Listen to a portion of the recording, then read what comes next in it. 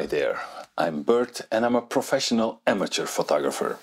And in this video I want to show you how you can change lenses on the fixed lens Fujifilm X100V.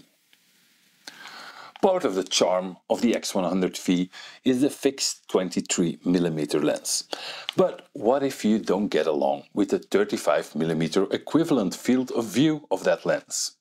Or what if you like to mix things up a little bit to create some more variation? There's of course always the option to use a camera with interchangeable lenses instead of the X100.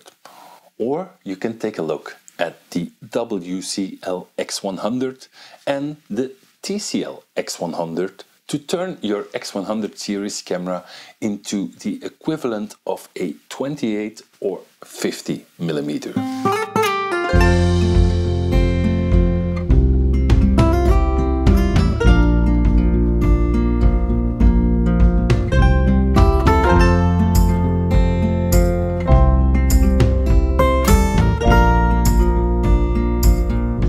Search for even more compact photography solutions, I kind of rediscovered these over the last few months.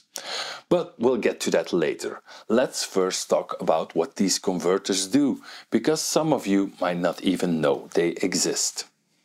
The WCL and TCL are not full-on lenses with focus mechanisms and an aperture.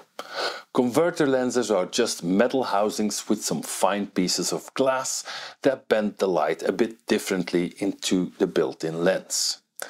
The W in the WCL X100 stands for wide and the T in TCL stands for tele. With the first generation of the converters, you had to manually set that you were using a converter and which one, to get the lens correction and have the right EXIF data. But for a few years now, there is a version 2 of the converters. Optically and visually, these are identical, but there's a little magnet inside that tells the camera that there is a converter attached the camera then automatically takes care of the right lens corrections and EXIF data. To me, that makes a big difference, as it was one of the main reasons why I sold off the version 1 converters a long time ago. The converters simply screw onto the front of the X100 lens. Take the protector ring off and screw in the converter of choice. The great thing about not having any moving parts in the converter lenses is that they are perfectly weather sealed out of the box. And you still get the benefits of a leaf shutter. As these are the version 2s, the camera immediately recognizes the converter. I've read some articles of people gluing in magnets into the old version with success, but I haven't tried that myself. Both version 1 and 2 are available in silver and black by the way. The wide converter gives you a 28mm equivalent field of view and it's pretty small. You can still put the camera with the adapter in a big coat pocket easily. I personally think it doesn't waste the X100's good looks at all. The front filter size is exactly the same as the filter adapter of the X100V native lens. So if you have a protector filter or one of those hipster bloom filters, you can use the same one with the wide converter. The Fujifilm lens hood also fits the WCL. I find the image crystal clear and sharp with little distortion. I don't see any degradation in the image quality nor did I perceive a loss of light.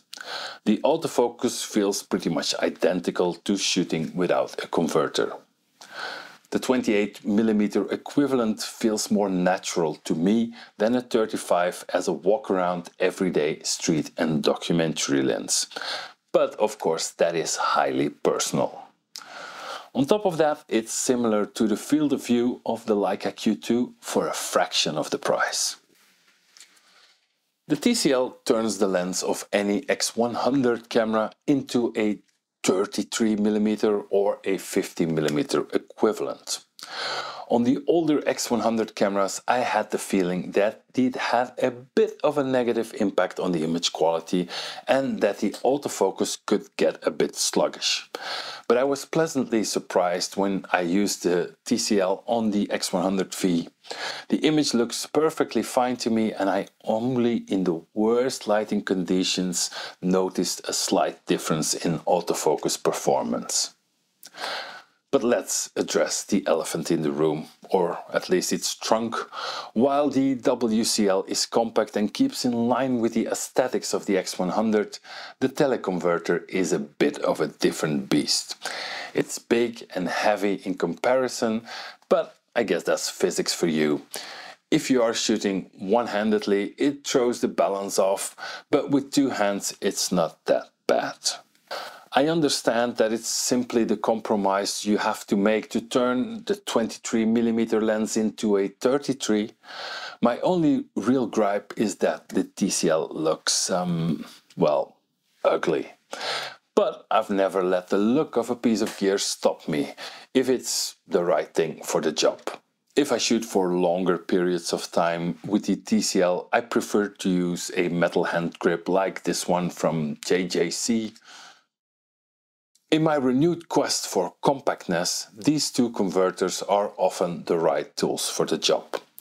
You see, in the last few years I've been using my bike a lot to get around and on the bike weight and size are really important.